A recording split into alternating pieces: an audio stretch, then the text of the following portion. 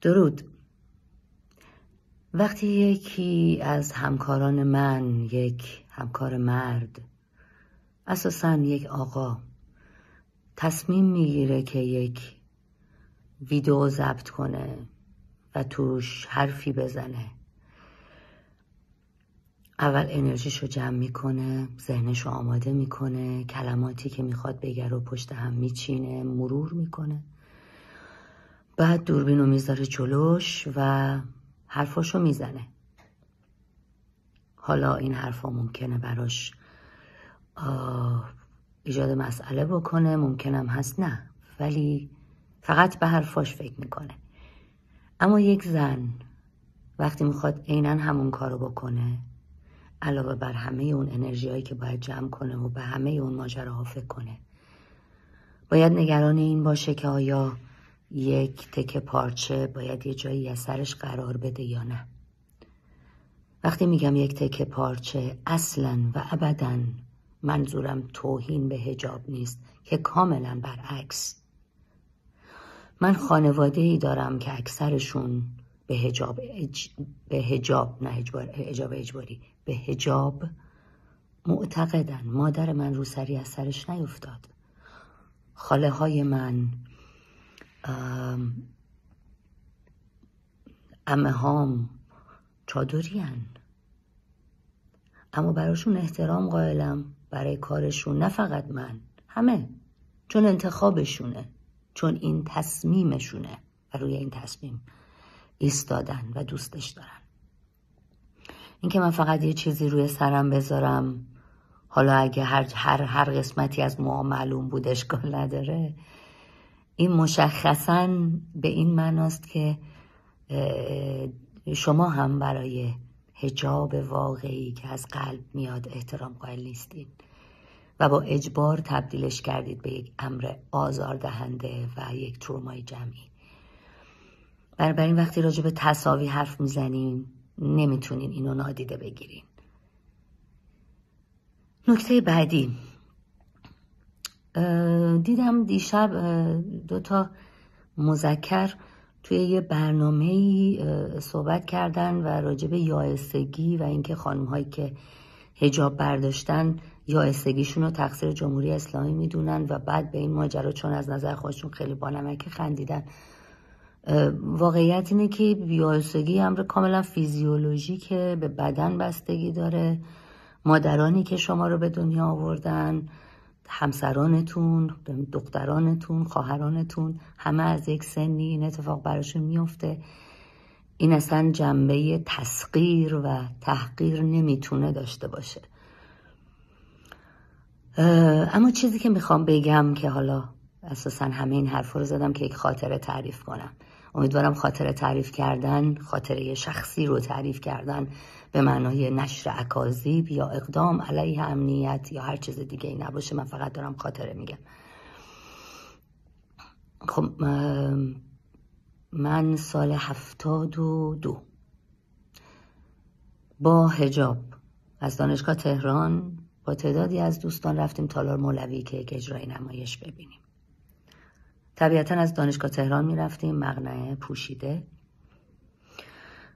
و یک اجرای بسیار زیبا از علیرضا نادری عزیز دیدیم. وقتی اجرا تموم شد و آمدیم بیرون دیدیم محوطه تالار مولوی بسیجی ها و لباس شخصی ها حمله کردن و خب تا دقایقی نمیفهمیدیم مثلا چه اتفاقی افتاده. بعد فهمیدیم که به نمایش اساسا معترضن که این کار چرا اجرا رفته. و در میانه این هیاهو یکیشون اومد سمت من و در حالی که مغنم تا اینجا بود اومد و با فریاد و فهاشی گفت مغنه بکش, بکش جلو فلان و اینا با کلمات خیلی زیبا و شایسته. و من که شوکه شده بودم طبیعتا اول صحبت کردم که چرا اصلا چی کار داری؟ اصلا چرا اینجا این؟ چی شده مگه؟ یه کار با مجوز اجرا رفته. چرا یه عدتون الان پشت صحنه درگیرین این که بچه ها رو ببرین و اینا؟ و خب از اون جایی که معمولا این دوستان برای یک منظور فقط تربیت میشن یعنی بیشتر از اون اصلا گوش نمی‌کنن تو چی میگی. با یک هدف اومده بودن برای این اساسا نمیشنید من چی میگم. مجددا تکرار کرد که فلان فلان بکش هجاب تو جلو. و من تو چشماش نگاه کردم گفتم نمی‌کشم اقلعمو جلو تعدادی از دوستان اومدن دوستانی که خب الان هر کدومشون خوشبختانه در حوزه هنر بعد از این همه سال بزرگانی شدن حتی جریان ساز شدن. دوستان اومدن یه تعدادشون گفتن پالتا کوتا بیا. یه تعداد دیگه رفتن که اوضاع رو آروم بکنن و همه اینا. به منم سور و در این حال به شدت خشمگین. ایستاده بودم که اساسا جای شما اینجا نیست اینجا خونه منه. اینجا سالن تئاتره اینجا اینجا مال ماست. و تو این حیث و بس بچه ها منو کمک کردن. حالا به هر طریقی اومدم از کنار پیاده رو. خب اجراهام که می‌دونین معمولا ساعت نه و نه نه نیمینا تموم میشه. ساعت حدودا فکر می‌کنم نه و نیم شب بود. اومدم که از کنار پیاده رو بیام صدای موتوری رو شنیدم و بعد یک ضربه بسیار محکم به سرم. خب عکس العمل اولیه اینه که نمی‌فهمی چه اتفاقی افتاده.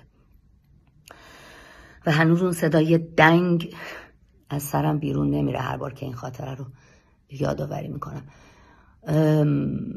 سرمو گرفتم و تا به خودم بیام دیدم یه موتوری با یه چماق توی دستش و خندان داره دور میشه. اون موقع هنوز برای باتوم هزینه نمی‌کردن از چوب استفاده می‌کردن.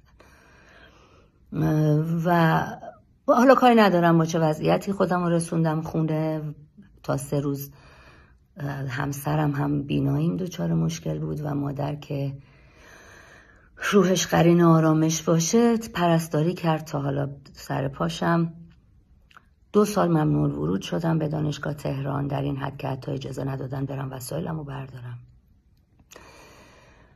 جشنواره دانشجویی بود. الان اینو یادم رفت بگم. جشنواره دانشجویی بود. جشنواره دانشجویی تعطیل شد و من هم یکی از مقصرین این ماجرا دانسته شدم.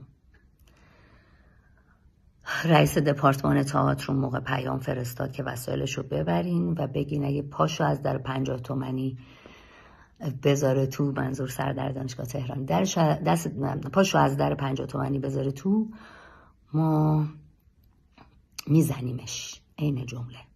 میزنیمش اگر بیاد تو. دو سالم جشنواره تعطیل شد. این خاطره رو خیلی خلاصه فقط تعریف کردم که به این دوستان مذکر بگم این اتفاق اصلا ناگهانی نیست. این تروماییه که ما مدت هاست داریم تحمل می‌کنیم و هرگز هم پاسخ درستی راجبش نگرفتیم. که چرا باید کتک بخوریم؟ بابت این که یه چیزی روی سرمون قرار بگیره. حتی به غلط. حتی یه, یه پارچه که معلوم نیست چرا هست. نه هجاب نه نیست. و بعد شما الان اومدین و دارین سعی می‌کنین از کلمه یائسه به عنوان واژه تحقیر استفاده کنین. آرزو آگاهی می‌کنم. برای هممون اول از همه خودم و بعد برای هر کسی که فکر می‌کنه خیلی می‌دونه. ممنونم.